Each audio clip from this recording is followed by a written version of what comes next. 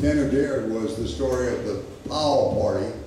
Uh, uh, Major Powell was a former Union officer who lost an arm in the Civil War.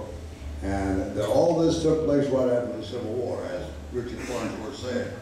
And uh, uh, they, he came immediately out west. He was a surveyor by profession, and he'd been an artillery officer and lost an arm.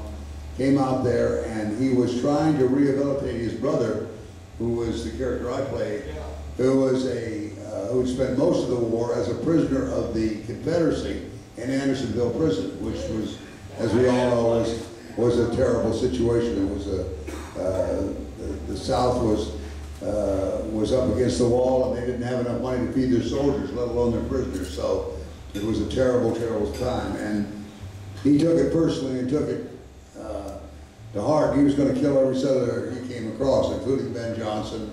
And uh, they, he took a real dislike to Ben, and, and that was the, the, the, the conflict of the story.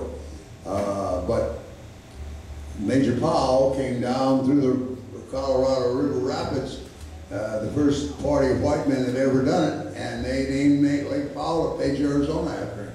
So uh, it was an accomplishment, the first, the first beginnings of the first surveys of the Grand Canyon.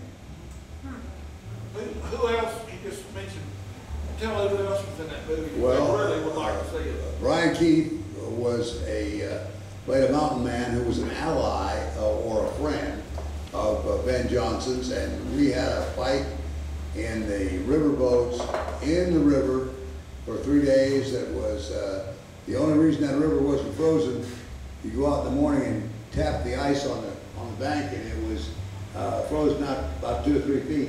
It was moving too fast. And we were uh, in that water about uh, uh, 38 degrees, uh, 40 degrees, whatever it was, and uh, and just just had a terrible terrible time getting getting the fight shot.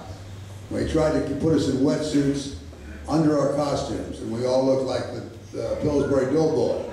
So so we took the wetsuits off and went back in the water with the regular costumes on. And we come out, uh, in those days, I, uh, we were all drinking a little bit, and I'd come out and, uh, Brian and, and Ben, and we'd all drink a half a bottle of brandy, and go right back in and start fighting again. We never, never even feel the effects of the brandy, it was so cold. So, no, it was, those are some of the, the difficulties that we had.